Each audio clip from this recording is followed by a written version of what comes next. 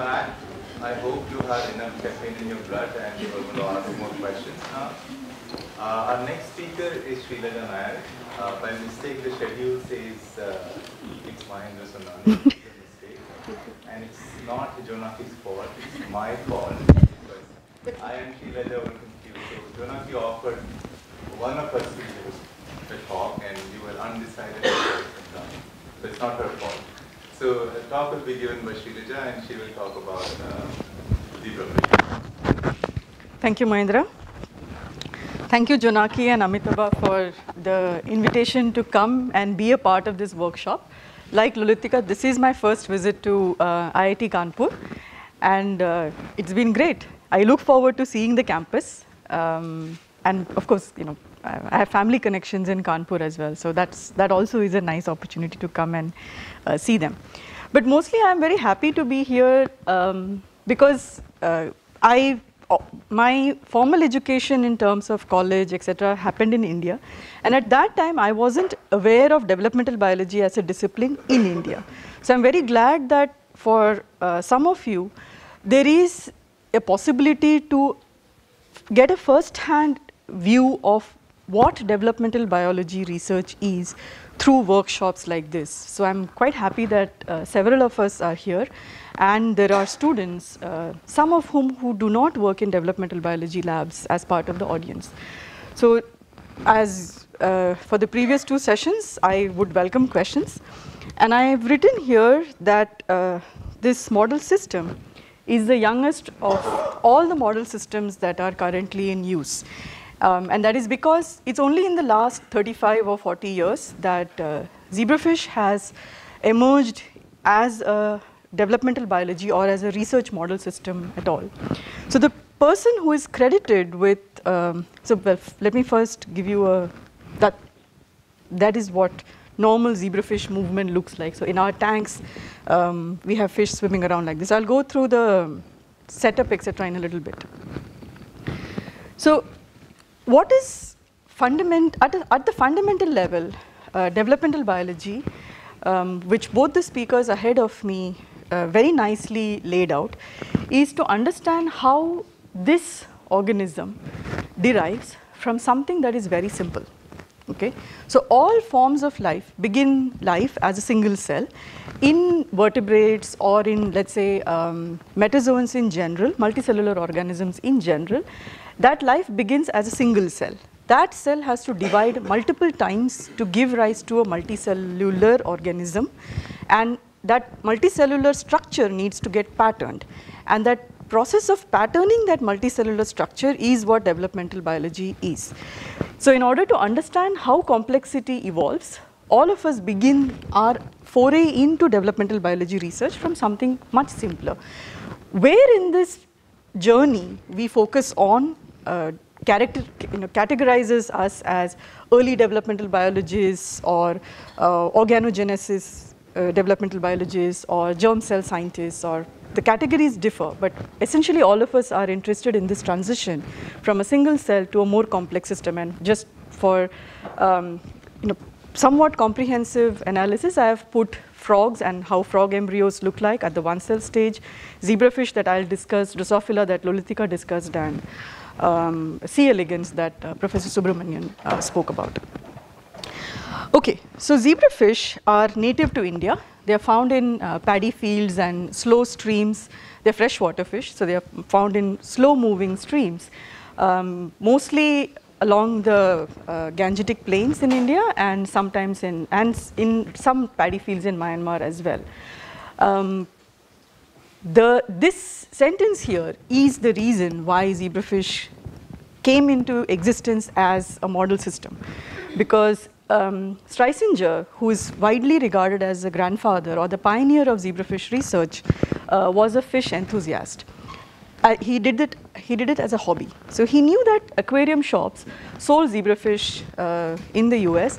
as hard to kill pets. So it's very common that you have a pet tank, and then yeah, in an inexplicable manner, your pets die. And if you have children in the house, you just flush the pet down the toilet and pretend that the death never occurred in the tank. But zebrafish are particularly hard to kill, which means that they are hardy. So they can withstand quite a lot of neglect and they are easy to handle. Okay? So Streisinger knew that. And it was first used by George Streisinger uh, in the University of Oregon, and he began this work in the late 1960s uh, when he was a faculty member there. So he's an interesting guy because uh, all through the um, time that he worked on zebrafish, uh, he published very few papers. But his impact on the field is enormous. So we, there is still a zebrafish handbook uh, that was authored by George Streisinger that you will find in every zebrafish lab. In fact, when I got my, uh, when I moved to TIFR, one of the first things I did is buy the zebrafish handbook uh, by Streisinger.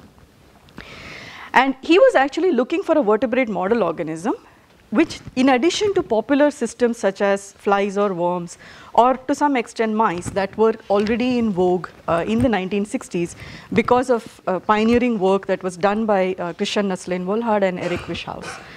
And um, he also is credited with um, what molecular biologists term as a Streisinger slippage.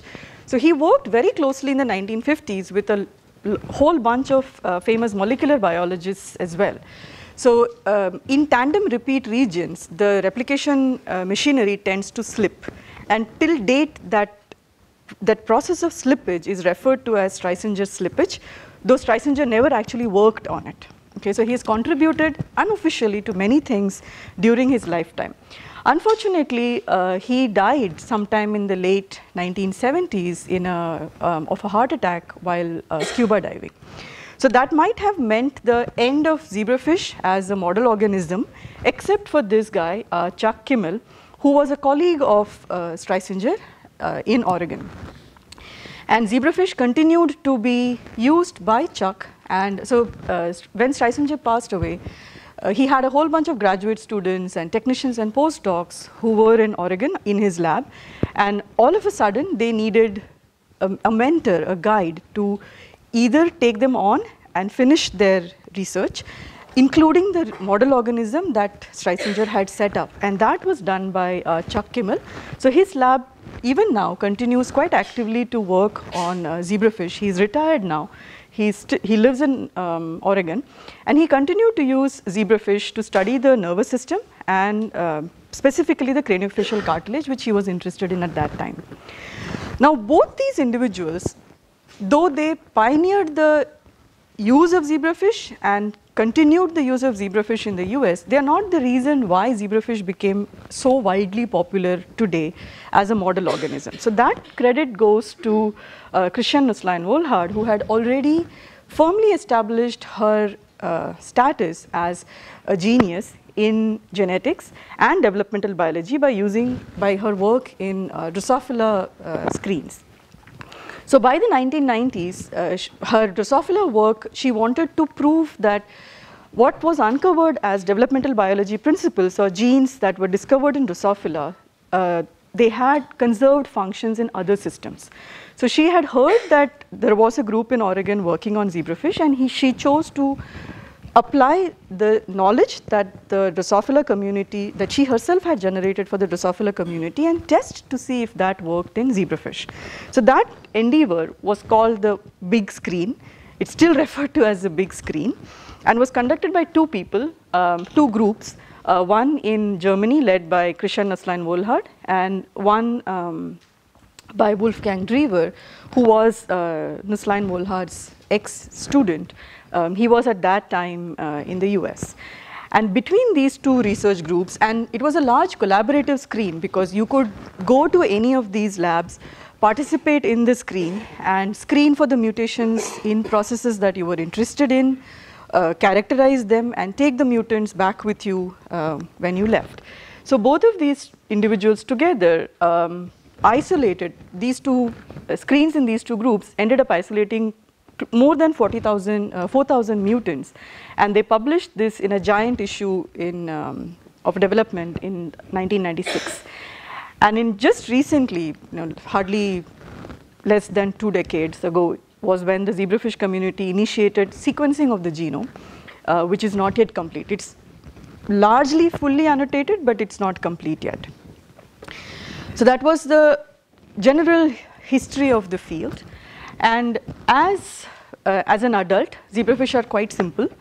Um, you can tell a fish uh, and its uh, anatomical parts pretty quickly, pretty easily. So they have a few fins, a very nice tail fin, and they are called zebra because they are called zebrafish because of these longitudinal stripes that run across the length um, of their body. Males and females, I think that's my next slide, yeah. Males and females can be recognized very easily because females tend to be a little uh, gravid. They're called gravid because they carry eggs and they are little more whitish than the males. So the males tend to be slender. They're called torpedo shaped and these torpedo shaped males uh, tend to have more colored fins. So if you can see it clearly, the fins of the males are a little more orangish than the fins of the female. So in, in a tank, it's easy to tell based on size and morphology and color, whether you're looking at a male fish or a female fish. Typically, they are raised in, so this is a picture of the facility that uh, we have in uh, TIFR Mumbai. Um, so they are raised in these glass or plastic tanks uh, from which water keeps circulating um, across all the tanks in a continuous manner. And if you want to get eggs, you essentially pair a male and a female fish uh, in a tank which has a mesh at the bottom and the eggs sort of slip through. Okay? Otherwise, the fish will eat the eggs. So you want the eggs to be separated from the adult fish that are swimming. So the eggs just fall through the holes in the mesh. And this movie uh, I forget whether this movie is from a movie that we took in my lab or a movie I got off the net, but there are many such movies available. So in the morning, uh, the fish, so in the previous slide, I think I wrote down the general rearing, basic rearing conditions. So you maintain this room in a 14 hour light, 10 hour dark cycle. They're vertebrates. Like us, they have a circadian rhythm. They do go to bed at night. So in the night, you will find all the fish sort of floating at the bottom of the tank with minimal movement. So they don't swim very quickly. So their movements are a little subsided. And that's when the lights go off. And the lights typically come back on in the morning. And uh, pay, these paired up fish, as soon as the lights come on, will demonstrate behavior that I'll show in my next slide. And the biggest advantage, one of the bigger advantage, which both speakers previous to me alluded to, is the numbers. From a single pair mating, you can get thousands of embryos. And you can set up tens and hundreds of these matings if you have the space for it. So this is what happens in the morning. If you have paired up these fish the night before, you can tell the male and the female um, apart in these tanks. And the male sort of uh, chases the female, circles her a few times. And if you watch the movie carefully, uh, you will find some white specks that are released in the water. You see that? Yeah. So those are the eggs that the fish release in the water and these eggs will settle down into the bottom of the tank. So the male actually fertilizes the uh, releases uh, spermatozoa into the vicinity of the water where the female is swimming. So fertilization is external and that is again a very big advantage. And so not only is fertilization external, it's instantaneous. So as soon as the egg is released, the male is nearby, uh, the sperm finds the egg, fertilizes it and then the fertilized egg sort of settles to the uh, bottom of the tank. The fish can't eat it because they are prevented from accessing the uh, eggs themselves. They, they'll eat, so the fish when they're swimming, they'll just nibble at whatever is in the bottom. So they, they're not eating it preferentially, but they just suck it, they're filter feeders. So they'll suck it up and along with the sucking, the eggs also go in. And the uh, fish will, the female will release eggs in waves. So one of the things that both Mahendra's lab and my lab do quite commonly is you can prime the fish. So you can have the fish mate the fish, the female will release the first wave of eggs. You can then split up the male and the female in separate tanks.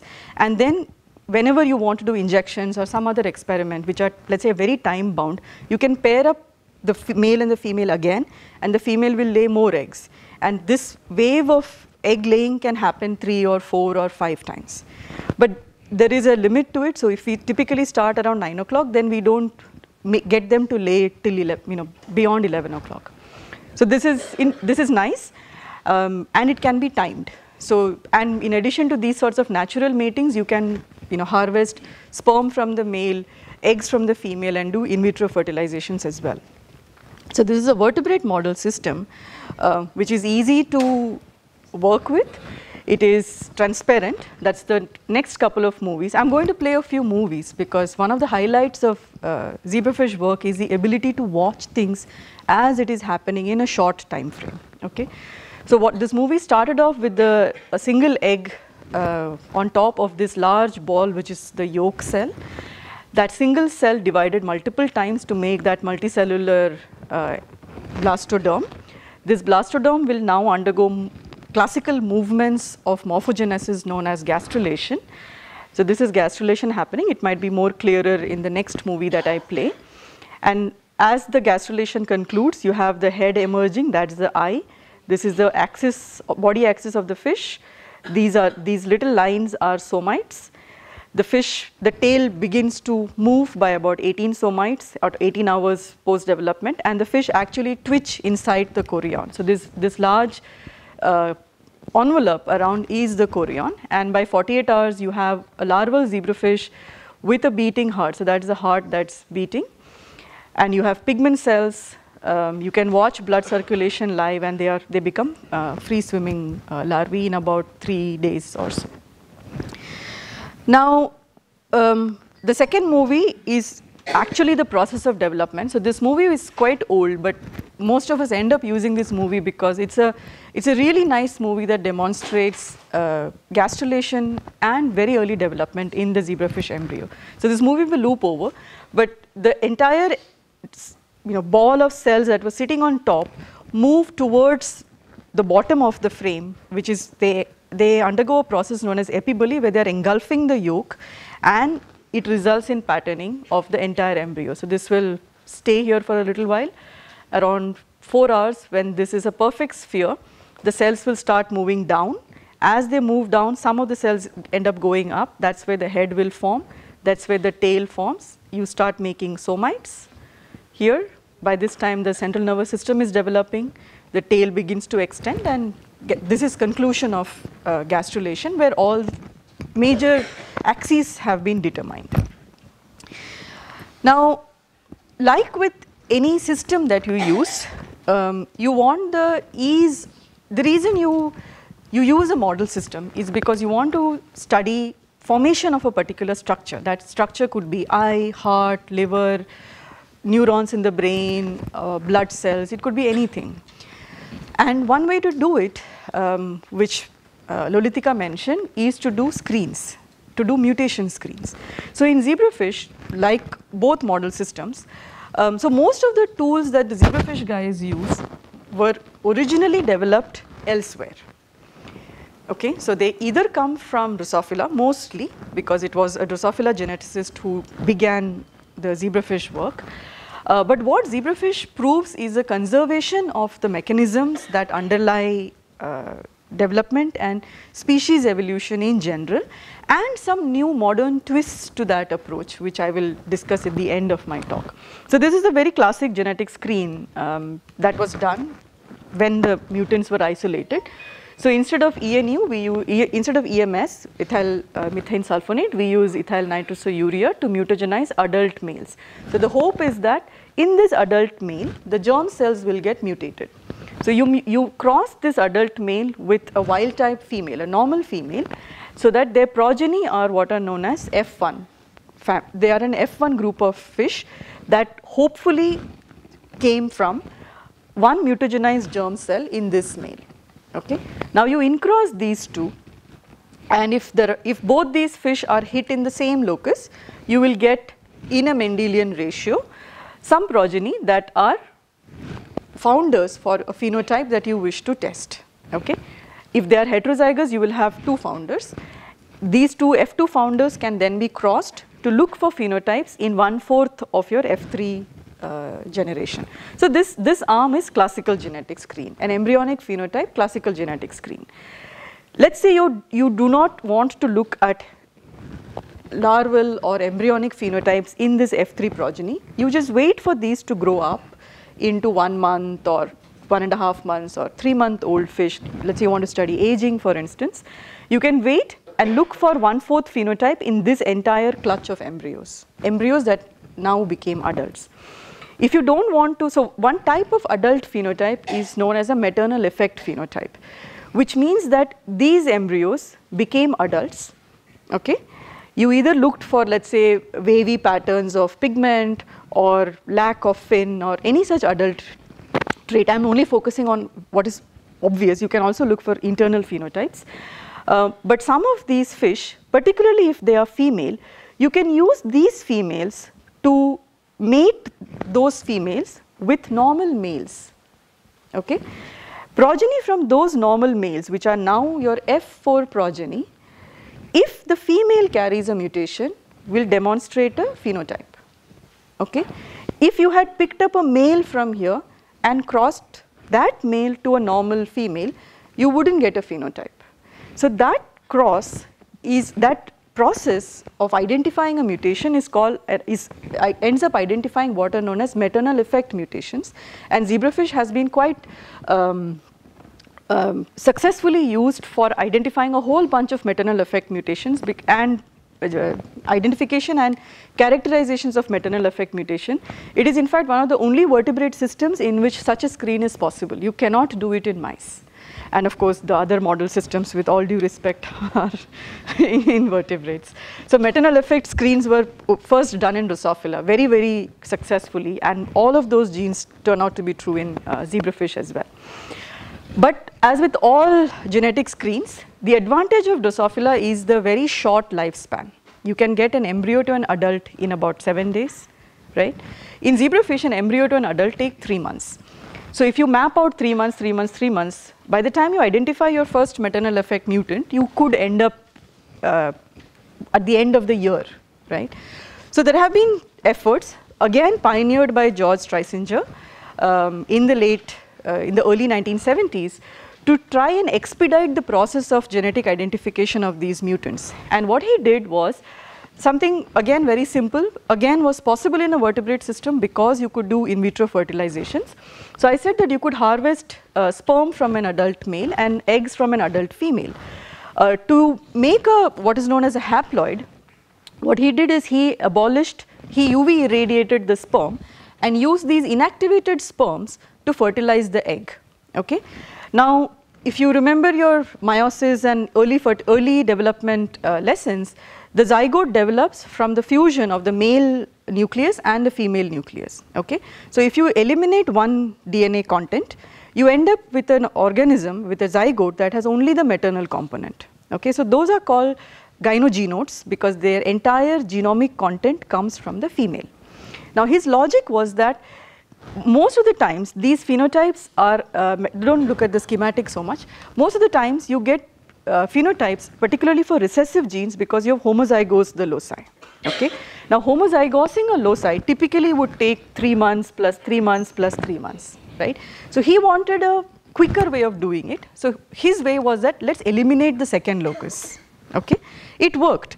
So he we, they were able to identify a whole bunch of mutants using the haploid uh, strategy, but there was a caveat that the haploid itself had some phenotypes, which they managed to rescue by diploidizing a haploid genome. So do you, uh, did you understand what I just said?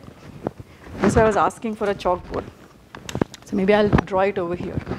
So you had a, a, a, a male, you had the male and the female DNA that fused to make the zygotic 2N genome you eliminated the male DNA such that you ended up with a zygote that had only an N content. Now you want to recover that 2N content. And in fish there are ways to do it which is usually by subjecting the embryo to a pressure or a heat, a transient pressure or a transient heat which converts this N DNA content into a 2N. Okay? These fish can grow to be adults. They are perfectly normal, adult, viable, uh, fertile organisms which allows you to establish what are known as semi-isogenic lines because now the genomic content comes from only one individual. Okay, so there are lines that are established and I'll maybe dwell on it a little bit uh, tomorrow. But what I want to convey is that there are uh, genetic uh, tricks, there are genetic, this one, there are genetic tricks that you can use to uh, quicken the process of a genetic screen in a vertebrate system um, quite easily. Now having said that, uh, zebrafish is not just good for forward genetics approaches, it's also good for reverse genetics as well. So forward genetics is where you do not know the gene, you have a phenotype and you trace back to what the gene should be. Reverse genetics is you know the gene and you're tracing backwards what its function is. Okay. So in reverse genetics, and I'm putting up this picture, so this, this series of pictures, are movies are essentially zebrafish embryos at the one cell stage being injected with a dye. So both, any zebrafish lab does this sort of as a bread and butter experiment every day uh, of uh, the lab's uh, life. Uh, and we inject different things. Some, sometimes it is reagents that will help knock down a gene function like a morpholino.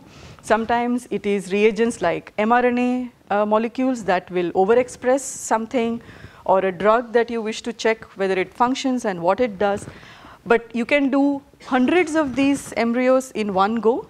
The technique is very simple and it's possible to do with a very commonly available uh, microinjector setup and a very simple uh, microscope.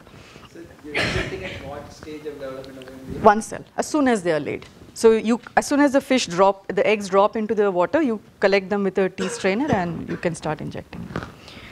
So the, this, this essentially um, gives you a very quick tool to instantaneously abolish or overexpress what you wish to express.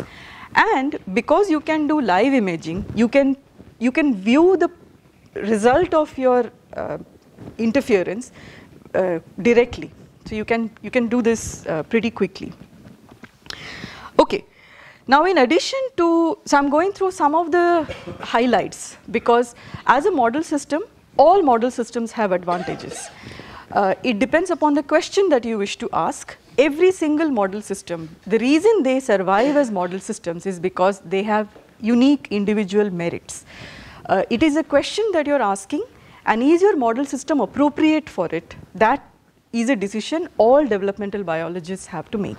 So th that being said, some model systems are better suited for certain kinds of work than others.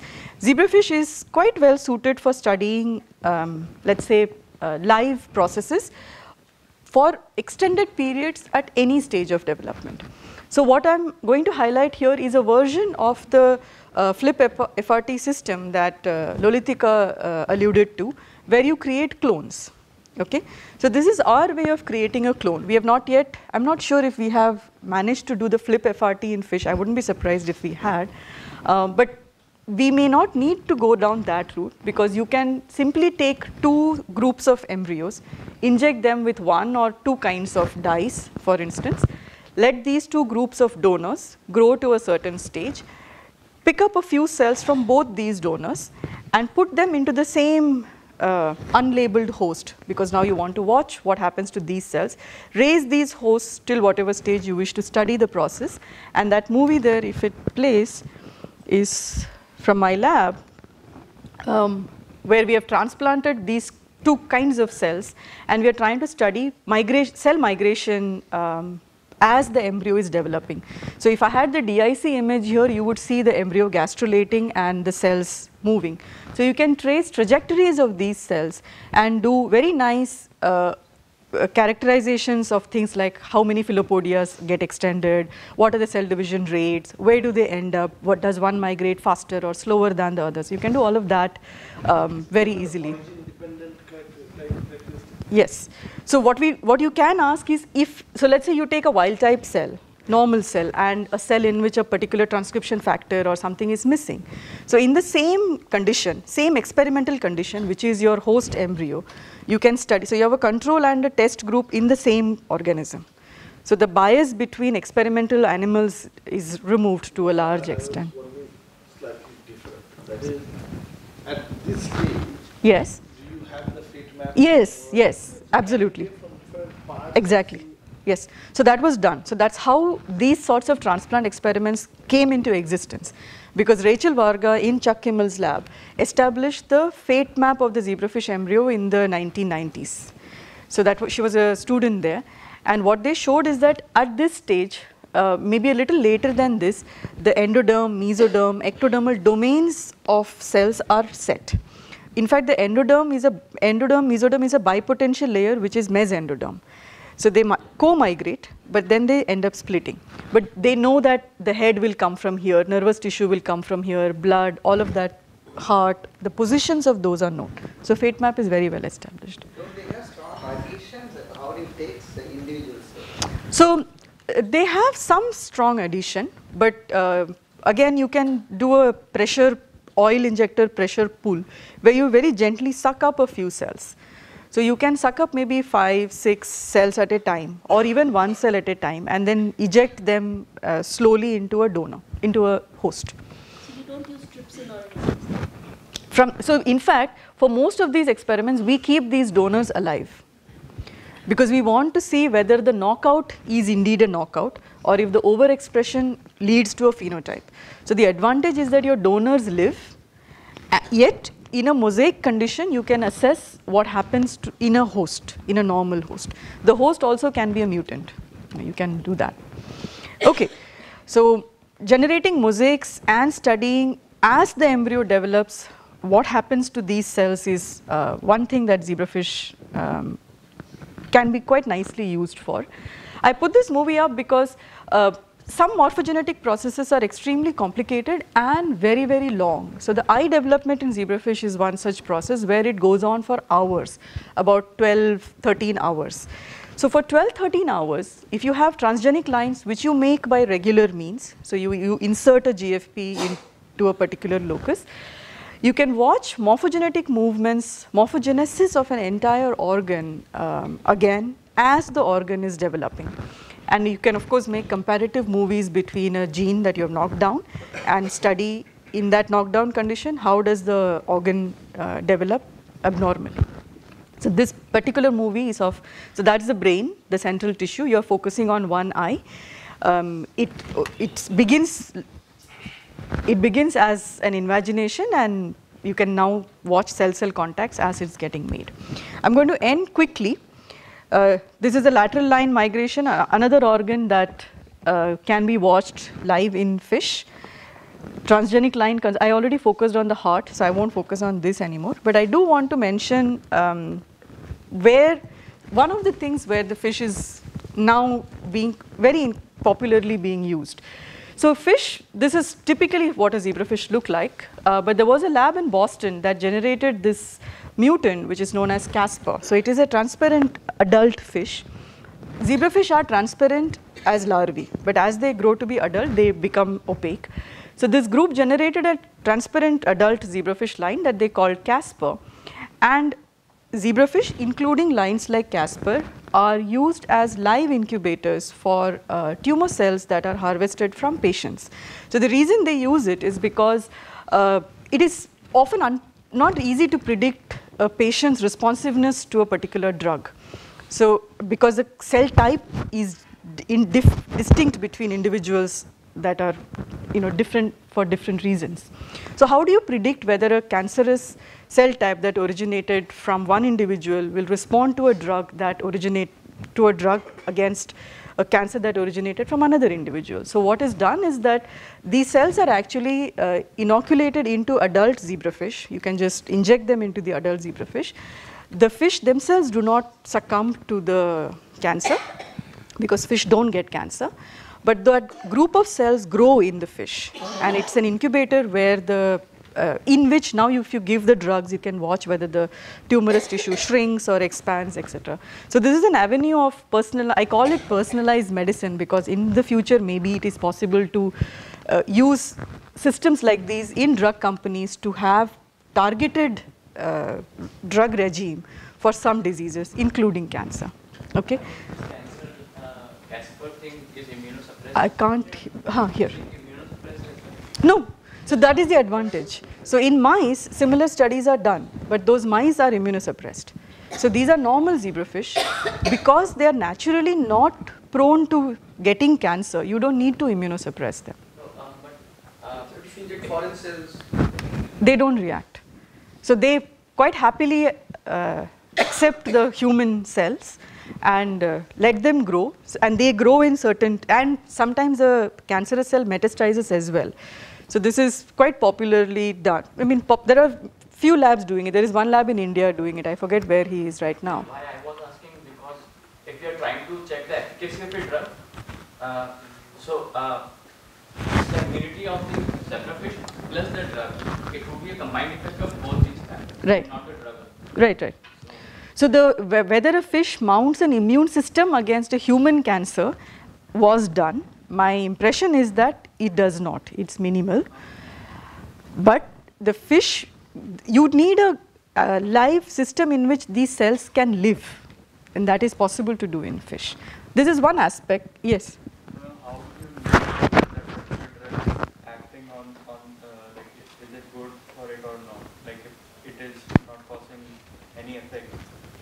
any drug you give it, uh, give to this, this particular fish, how do you know that that particular drug is good for uh, that particular type of cancer or not? So let's say I had a, mm, I had a cancerous cell type that made a mass, a metastatic mass. If the size of that mass shrunk, possibly that is cell. It's because this, is that what you're asking? Yeah. So that is one easy way to tell. You can also do histology sections to see whether this, the growth is, uh, is it actually getting reduced or no.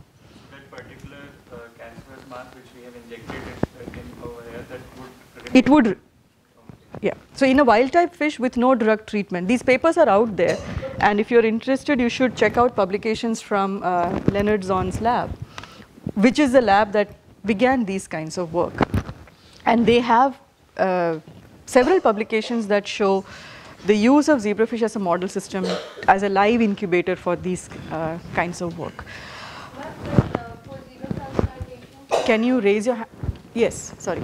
for xenotransplantation of uh, human cells into uh, Casper, they do irradiation or dexamethasone treatment before transplanting the cells so that the immune system is a little suppressed. So zebrafish immune system, it has some of the, it has all the cell types that the mammalian system also has, but you can't, so fish for instance need to be put back into the system. So irradiation of that nature is not generally very feasible. In mouse for instance you can isolate the mouse and keep them separately, but in fish it is not possible because of the system as such. So you don't need to give immunosuppressants or gamma irradiation like is typically done in mouse. Yes. Like for example, if you are studying hematological malignancy using this as a model system that is quite conserved between zebrafish and humans. So uh, what uh, what would be the condition in that scenario? If you are trying to uh, study hematological malignancy like for example leukemia and the uh, hematologic system So circulatory system disorders are of a different category. So let's say you have a skin cancer condition or a liver pancreatic cancer condition where the tissue is a mass. It's not easily accessible in other model systems to study and it is recalcitrant to drug treatments. Okay, some of these details can be discussed over lunch also. But, uh, Yes, in the, we can ask, yeah, good. you done or? Huh, so I have a last slide which is just uh, a, a general gyan slide and a thank you slide that uh, you know developmental biology has of course its obvious merits. Yes. What do you mean by fish is not getting cancer? Naturally, so we naturally can get cancer because there are genes in our bodies that if you mutate will get cancer, you know, it will get cancer. But there are no naturally natural examples of a fish that got cancer. So even if we are uh, putting in some uh, mutant cells which are dividing by themselves, and, uh, we take some zebrafish cells, mutate them in such a manner that they uh, divide uh, irrespectively of any condition, and uh, won't and then again transplant it uh, in a zebrafish. Then won't that zebrafish So that has not been done. So when I say zebrafish naturally do not get cancer, what I mean is that in, in the labs, in other systems or in natural conditions, there are no examples of fish with tumorous, malignant tumorous growth. But that is possible in other model organisms like mice. I don't want you guys to all to focus on only on cancer, okay? the, the, the theme was developmental biology. Uh, I wanted to sort of also portray that classical developmental biology systems can also be used for translational medicines. Um, and that is a necessary next step in, you know, transferring that knowledge forward. Um, that's where the last pitch came from. I think with that we should uh, conclude uh, Yes. this talk. Thank you.